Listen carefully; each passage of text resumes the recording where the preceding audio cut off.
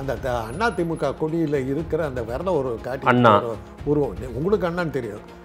மந்திரிகளாக இருந்த ஆட்களை கூப்பிட்டு கேளுங்க. அது யார் படம்னு கேளுங்க. அவங்க எத்தனை பேத்துக்கு தெரியும் பாருங்க. அதுவே யாரும் தெரியாது. அந்த கருப்பு சிவப்பு எதுக்காக அதில் இருக்குதுங்கிறது அதுக்கு விளக்கம் சொல்ல சொல்லுங்க. சரி எம்ஜிஆர் காலத்துக்கு தெரியாதுங்க. எம்ஜிஆருக்கு அந்த கருப்பு சிவப்பு ஏன் இருக்குன்னு தெரியாது. சிவாஜி கணேசன் நடிக்க தெரியாதுன்னாரு ஏவி மேயப்ப செட்டியார். ஆள் விழுவிலுன்னு இருக்கான் நடிக்க தெரியல இந்த ஆளை வச்சுக்கிட்டு எடுக்கக்கூடாது. அப்போ வந்து அண்ணா கிட்ட போய் சொன்னபோது சிவாஜியை மாற்றிட்டு படம் எடுக்கிறதா இருந்தாக்கா கலைஞர் கூப்பிட்டு சொல்கிறேன் நீ வசனம் எடுக்கக்கூடாது வெளியே வந்துட்டார். கடைசி ஊரில் இருந்தார் கொள்கையை பற்றி தெரிஞ்சிருந்தார். பெரியாருக்கு விழா எடுப்பார். மூகாம்பிகை கோயிலுக்கு போய் வைரவாழ் கொடுப்பாரு. அதான் அவருடைய கொள்கை பிடிப்பு. அப்படி பார்த்தா கலைஞர் கூட தான் திருவாரூருக்கு தேர் விட்டதா இருக்கட்டும். திருவாரூர் தேரை ரிப்பேர் பண்றது வேறங்க. திருவாரூர் தேரை அவரே போய் இழுக்கிறது வேற. சீஃப் செக்ரட்டரியாக இருந்த ராயப்பா காமராஜருக்கு போய் மாலை போட்டு நீங்கள் சீஃப் மினிஸ்டர் ஆகிறனால நான் எதிர்பார்க்குறேன்னு சொல்லி போடுற அளவுக்கு ஆஹ், ஊடகங்களுடைய பில்டப் அப்படி இருந்தது. இந்த செய்திகளை எல்லாம் பார்த்துட்டு எம்ஜிஆர் பயந்து போய் ஜெயலலிதாவோட நேபாளில் போய் உட்காந்துட்டார் இங்கே இருந்தாவே நம்மளை அரெஸ்ட் பண்ணுவாங்களோ என்னங்கிற பயத்தில் வம்பே வேணான்னு அங்கே போய் உட்காந்துட்டார் வெற்றியை பற்றி கேள்விப்பட்ட உடனே அவர் அங்கேருந்து தகவல் அமைச்சார். மந்திரி சபை அமைக்கும் போது என்ன கேட்டுக்கு நீங்கள் போடணும்னாரு. திமுகவுல கணக்கு கேட்டார் எம்ஜிஆர். அதனால தான் கட்சி உடைஞ்சதுன்னு கணக்கை கொடுக்க வேண்டியவர் கணக்கு கேட்குறாரு அவர்கிட்ட தான் காசு இருக்குது. ஓ இது அப்போ திமுகவை உடைச்சது எம்ஜிஆர் தனியா அதிமுக தொடங்குறது? இந்திரா காந்தி தான் காரணம். பாலதண்டாயுதம் மோகன் குமாரமங்கலம் கல்யாண சுந்தரம். இவங்க மூணு பேருனுடைய அட்வைஸில் தான் இவங்கெல்லாம் வந்து மோகன் மோகன் தான் ஆஹ், காங்கிரஸ்ல மந்திரியாக இருக்காரு. கம்யூனிஸ்ட் வந்து காங்கிரஸுக்கு மாறி மந்திரியாக இருக்கார் எம்ஜிஆர் இதை சொன்ன உடனே இவங்க சொன்னதை கேட்டது பாலதண்டாயுதம் தான் பிரெயின் பிஹைண்ட் அதாவது மூளையாக பயன்பட்டவர் அவர் தான் அவர் சொன்னது அப்போ வந்து அதிமுகவுடைய கட்சி கொடி என்னன்னா கருப்பு சிவப்பு நடுமத்தியில் தாமரை. நடுமத்தில தாமரை. தாமரை. தாமரை தான் கட்சி கொடி. இது ரெண்டும் சேரும்போது அவங்க ஜெயிச்சவங்க. மீண்டும் ஜெயிச்சிட்டாங்க. அப்போ சொன்னது என்னன்னா நம்ம ஓட்டு போட்டது நோவையும் சாமியும் பார்த்து தானே போட்டோங்கிறது தான்.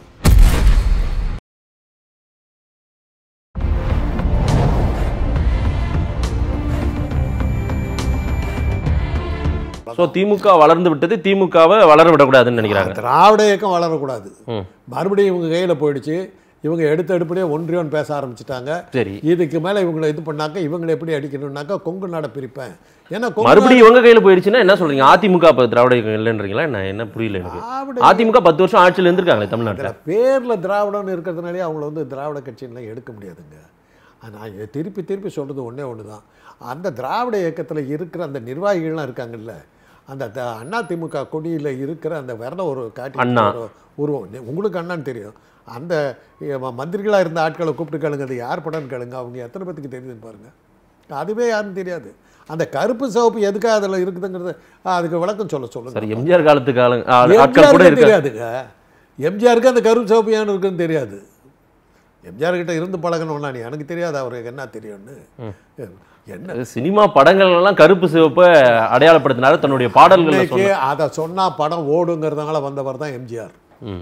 இன்னைக்கு வந்து திராவிட இயக்கங்கள் நல்லா வளர்ந்துருக்குது. இதோட ஒட்டி போனோம்னா நம்ம படங்கள் ஓடுங்கிறதுக்காக வர்த்தக ரீதியாக வந்தவர் தானே ஒழிய கொள்கை ரீதியாக வந்தவர் இல்லை. எம்ஜிஆர் அதே தான் ஜெயலலிதாவும். சிவாஜி கணேசன் அதுதான். இதில் இருந்தால் க படம் ஓடும். இதில் இருந்தால் நமக்கு வருமானம் வரும். எப்போ அது அடிபட்டு போச்சுன்னாக்கா அந்த மோ நாம் இருவர் படத்துக்கு அப்புறம் ஏவிஎம் வந்து இந்த காங்கிரஸ் அடிப்படையில் படங்கள் எடுத்து விட்டாங்க. எல்லாம் டப்பா கண்டு போச்சு. வேலைக்காரி படம் சூப்பராக ஓடிச்சுன்னு உடனே அண்ணாவை கூட்டிகிட்டு வந்து உடனே வேலைக்காரி ப ஓரிரவு படத்தை ஆரம்பித்தாங்க ஏன்னா வர்த்தக ரீதியாக அண்ணா வந்து பெருசாக வந்துக்கிட்டு இருக்காரு. ஓரிரவு படம் எதிர்பார்த்த அளவு ஓடலை. அப்போ தான் க- கலைஞர் வந்து வந்து பராசக்தி வந்து ஏவிஎம் தாங்க தயாரிச்சாங்க. அப்ப கொடுமை என்னன்னா ஏவிஎம்மும் இப்போ நேஷனல் பெருமாள் மூலையாரும் பங்கு பங்கு சேர்ந்துக்கிட்டு தான் ஆரம்பிச்சாங்க. சிவாஜி கணேசனுக்கு நடிக்க தெரியாதுன்னாரு ஏவிஎம் ஐயப்ப செட்டியார். அதுதான் வரலாறு. ஆள் விழுவிலுன்னு இருக்கான் நடிக்க தெரியல. இந்த ஆளை வச்சுக்கிட்டு எடுக்கக்கூடாது. கேஆர் ராமசாமி போட்டு எடுக்கிறதா இருந்தால் படத்தை எடுங்க அப்படின்னு அப்படி.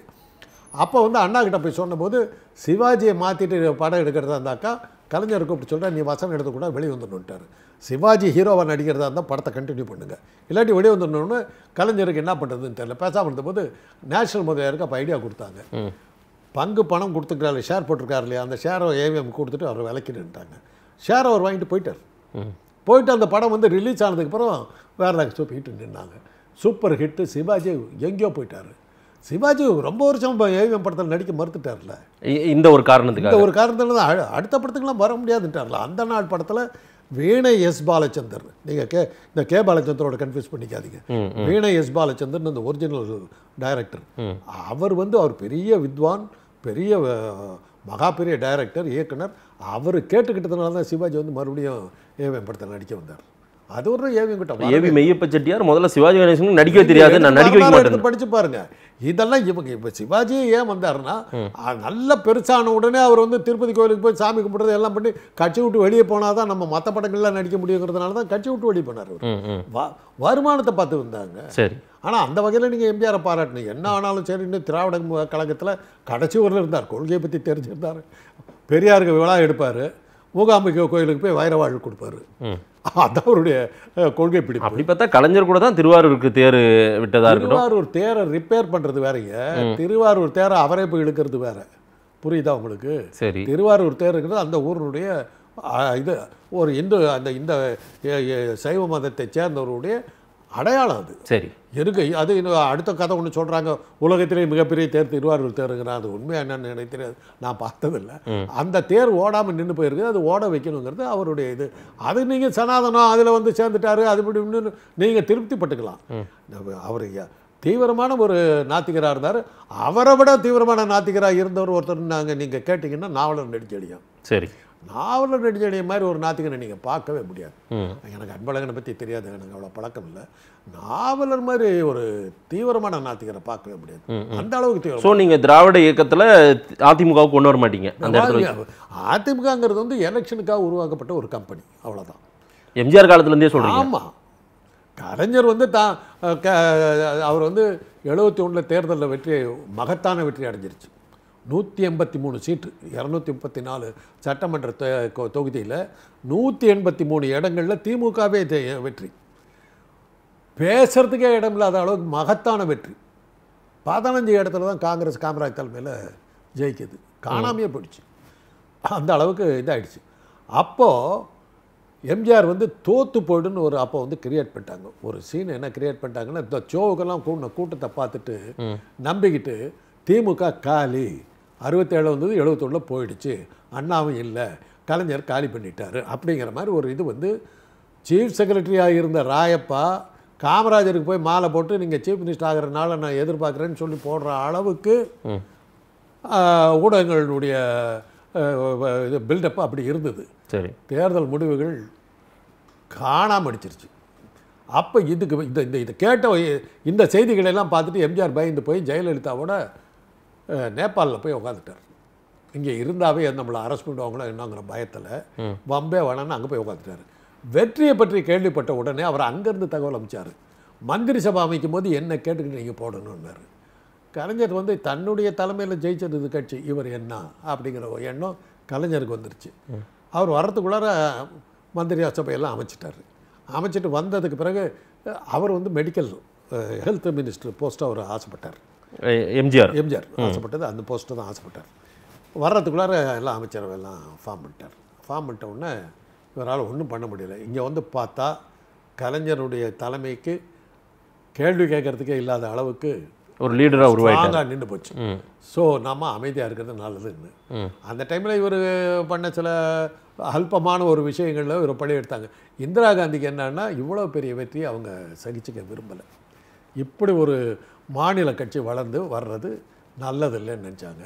திமுக அழிக்கிறதுக்கு என்ன வழின்னு பார்க்கும்போது அதுலேயே பலவீனமான இருக்கக்கூடிய ஒரே ஆள் யாருன்னும் போது மோகன்குமார் அவங்கள சொன்னது எம்ஜிஆர் தான். அந்த ஆளை தான் வெளியே கொண்டு வர முடியும். அந்த ஆள் வெளியே கொண்டு வந்தோம்னா கட்சியை கலக்கலத்து போயிடுங்கிறது. அவர் ஒரு சின்ன ஒரு ஃபாரின் எக்ஸ்சேஞ்ச் அந்நிய செலாவணி மோசடியில் அவரை மாட்டி விட்டு மூணு வருஷம் ஜெயிலில் போடுறதுக்கான ஒரு கேஸை போட்டாங்க.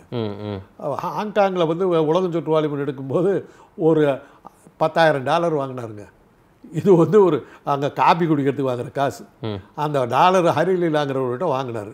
அது வந்து அந்நிய செலாவணி மோசடின்னு சொல்லி அதை கேஸை போட்டு மூணு வருஷம் உள்ள திருடி வரணும்னு பயந்துக்கிட்டு என்ன பண்ணணும்னு கட்சியை ரெண்டாவது போது தான் பொருளாளராக இருக்கிற எம்ஜிஆர் கட்சியில் இருந்த காசெல்லாம் என்ன ஆச்சுன்னு அவருக்கு தான் கணக்கு ஆமா அதுதான் இப்ப வரலாறு.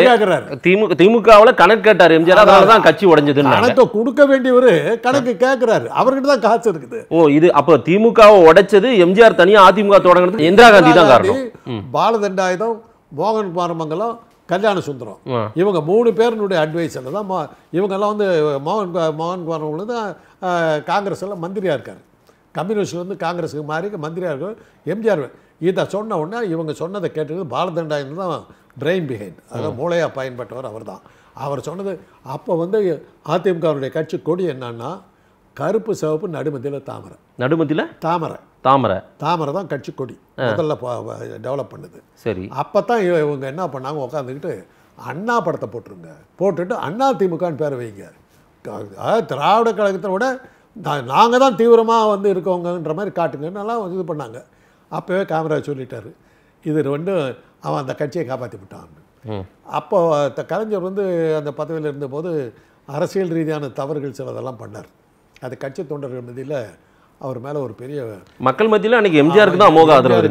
அது அப்போ பயந்தார். பயந்த மாதிரியே ஆச்சு. சரி. திண்டுக்கல் தேர்தலில் வந்து அபரிமிதமான வெற்றி. நினைச்சு பார்க்க முடியாத ஒரு வெற்றி. அதுக்கப்புறம் இவங்க இந்திரா காந்தி காந்தி என்ன நினச்சாங்கன்னா இந்த ஆள் தாங்கிட்ட வந்து சரண்டர் ஆவார்னு நினச்சாங்க. யாரு? எம்ஜிஆர். எம்ஜிஆர். இந்த ஆள் சாமர்த்தியமான போட்டால் தானே கட்சி தலைவர்னு அனௌன்ஸ் பண்ணிட்டான். ஆக ஒன்றா இருந்த திராவிட முன்னேற்ற கழகத்தை ரெண்டாக்கி இன்னும் ஸ்ட்ராங் ஆக்கிட்டாங்க. அதில் வந்து கம்யூனிஸ்டுடைய எண்ணத்தில் மண்ணை போட்டு அவங்க மூஞ்சில கரிய இந்த கணக்கு கேட்டது அதனால கட்சி உடைஞ்சது அதெல்லாம் அதெல்லாம் இப்போ சும்மா கணக்குக்காக பேசுனது இது கணக்கு கொடுக்க வேண்டியவரை அப்போ எம்ஜிஆர் அண்ணா இது கலைஞர் என்ன கேட்டார். உன்னுடைய வருமானம் இதை பற்றி கேட்டோமே. நீ ஏன் கொடுக்கல அப்படின்னாரு. கட்சி ரீதியாக கொடுக்கணும். ஓ அப்ப கணக்கு கேட்கும்போது எம்ஜிஆர் தான் பொருளாளர். பொருளாளர். அவர் தான் கொடுக்க வேண்டியவர். கணக்கே காட்ட வேண்டியது காட்ட வேண்டியது அவர் தான். அவர்கிட்ட தான் கணக்கு கணக்கு என்னென்ன ஆச்சுன்னு அவர்கிட்ட தான் கேட்கணும். அவர் கேட்குறாரு என்ன பார்த்து? என்ன அர்த்த கட்டத்தனமாக இருந்தது? பத்திரிகைகள் அன்னைக்கு இருந்த ஊடகங்கள் பூராமே அந்த அந்த ஆட்கள் கையில் இருந்தது. அதை வச்சுக்கிட்டு கா இதோட திராவிட இயக்கத்தை ஒழிச்சு போடலான்னு நினச்சா எம்ஜிஆர் இவங்களை காலை வாரி விட்டு போயிட்டார். சரி சரி. காலை வாரிட்டு இது ஒரு கட்சியாக மாறிடுச்சு. இவர் வெளியில் இவர் பவர்ஃபுல்லாக வர்றான்னு தெரிஞ்சோன்னே தலைமை அப்படியே அவர்கிட்ட போயிடுச்சு. ஓ அப்படிதான் அதிமுக திமுகவா மாறினது? கலைஞர்கிட்ட இருந்து தலைமை அப்படியே அங்கே போயிடுச்சு. அப்படி தான் வந்தது. திமுக அதிமுக உருவானது இந்திரா காந்தியால. இந்திரா காந்தி இந்திரா காந்தியால. உருவாக்கி அந்த கட்சியை காப்பாத்திட்டாங்க. இல்லாட்டி அது வந்து எழுபத்தி மூணாம் வருஷமே திராவிட இயக்கம் அடிபட்டு போயிருக்கு. எம்ஜிஆர் ஒருவேளை இந்திரா காந்தியோட போயிருந்தா அன்னைக்கு அவருக்கு இருந்த செல்வாக்கில் பல பேர் காங்கிரஸில் செத்துருப்பாங்க. ம் அந்த தேசிய இயக்கம் பெருசாக அதுதான் கணக்கு. ஆனால் எம்ஜிஆர் கால வரைட்டார் அந்த வகையில் தான் அவர் வந்து ஒரு திராவிட இயக்கத்துக்கு அவர் காப்பாற்றுறதுக்கு ஒரு காரணம்னு சொல்லி நம்ம லேசாக மரியாதை கொடுக்கணும்னு நினச்சா அந்த ஒரு காரியத்துக்கு தான் என்ன மாதிரி ஆட்கள்லாம் ஒரு மரியாதை கொடுப்போம் ஆனா திராவிட கொள்கை திராவிட ஈர்ப்பு? அவருக்கு அந்த அந்த இடஒதுக்கீட்டையே அவர் வந்து ஓரம் கட்டினார் இல்லைங்க அவருடைய ஆட்சி காலத்தில். அது ஓரம் கட்டி தானே தேர்தலில் பயங்கரமாக தோத்தார் அந்த பார்லிமெண்ட் பொருளாதார இடஒதுக்கீட்டை வந்து அப்படி சொல்ல தோத்த உடனே மறுபடியும் மாறிட்டார். இந்தியாவிலே முத முத பொருளாதார இடஒதுக்கீட்டை கொண்டு வந்த மாநிலம் இந்தியாவிலேயே பொருளா இந்தியாவிலேயே இடஒதுக்கீடு இருக்கிற மாநிலமே தமிழ்நாடு தான். தமிழ்நாடு தான். வேற எங்கேயுமே கிடையாது. இதை பார்த்து தானே அங்கே வந்து மண்டல் கமிஷன் வந்து அதை ரெக்கமெண்ட் பண்ணி ஆல் ஓவர் இந்தியா கொண்டு அவ- இந்தியன் எக்ஸ்பிரஸ் அதுக்கு எதிர்ப்பாகவே ஒரு இதை நடத்தினாங்கல்ல இயக்கத்தையே நடத்தினாங்கல்ல. சரி. இயக்கத்தையே நடத்தி அதில் தானே விபி சிங்கை வெடி அமைச்சாங்க ம் ம் ம். அவர் மண்டல் கமிஷனை கொண்டு வந்தாங்கன்னு உடனே தானே பிராமின் லாபி அப்படியே உட்காந்து விபி சிங்கை வெளியே துரத்திட்டு தான் வருவாங்க ஆனா அன்னைக்கு எம்ஜிஆர் கிட்ட தான் ரொம்ப ஆதரவு மக்கள் ஆதரவு எம்ஜிஆருக்கு தான் இருந்துச்சு. நிச்சயமா இருக்கு சா சாகரவர்னு அவரை தோக்கடிக்க முடியல. எப்படி தப்பிச்சுக்கிட்டாருல்ல. ஆனால் ஒவ்வொரு தடவையும் பார்த்தீங்கன்னா உடம்பு சரியில்லாம படுத்து இல்லாட்டி ஏதாவது ஆகி அவர் ஃபஸ்ட்டு டைம் வந்து எலெக்ஷனில் வந்து அவரை வந்து டிஸ்மிஸ் பண்ணிவிட்டாங்க. நம்ம டிஸ்மிஸ் பண்ணிச்சு. அடுத்த எலெக்ஷனில் வந்து டிஸ்மிஸ் பண்ண அனுதாபத்தில் ஜெயிச்சு விட்டாரு. சரி. அதுக்கு அடுத்த எலெக்ஷனில் உடம்பு சரியில்லாம படுத்து ஜெயிச்சு விட்டார். புரூக்லின் மருத்துவமனையில போய். க- கால் இல்லாத படத்தை எல்லாம் போட்டு அவர் சாவ கிடக்கிறாரு அப்படின்னு எல்லா தாய்களும் அப்படியே போட்டு தள்ளிடுச்சு. அப்படி தான் அவர் தப்பிச்சார் ஒழிய கொள்கை ரீதியாவோ அரசியல் ரீதியாவோ அவர் ஜெயிக்கல. உடம்ப காட்டி தான் இந்திரா காந்தி செத்தாங்க. செகண்ட் டைம் அவர் இது பண்ணுவோம் இந்திரா காந்தி மர்டர்டு இவர் கை கால் விழுந்து அமெரிக்காவில் இருக்காரு. இது ரெண்டும் சேரும்போது அவங்க ஜெயிச்சு வந்தாங்க. மீண்டும் ஜெயிச்சிட்டாங்க. அப்போ சொன்னது என்னன்னா நம்ம ஓட்டு போட்டது நோவையும் சாவியும் பார்த்து தானே போட்டோங்கிறது தான். யார் சொன்னது? மக்கள் சொன்னது. அப்படியே சொன்னாங்க. ஆமாம் எம்ஜிஆருக்கு நோய் வந்தது ஓட்டு போட்டாச்சு. இந்திரா காந்தி. ஜெயலலிதா இந்திரா காந்தி சுட்டு விட்டாங்க சாவு ஓட்டு போட்டாச்சு. ஈரோடு தமிழன்பன் ஒரு அழகான ஒரு கவிதை எழுதினாருங்க தலைவனுக்கு சிறை தற்கொலை செய்து கொண்டோம். தலைவனுக்கு நோய் தீ வைத்து கொண்டு மாண்டோம். இப்படி தனி மனிதனுக்காக செத்தோமே தவிர தத்துவங்களுக்காக நாங்கள் செத்ததில்லை. எங்களுக்கு வாழத்தான் தெரியாது என்று நினைக்காதீர்கள். எங்களுக்கு சாகவும் கூட தெரியாது.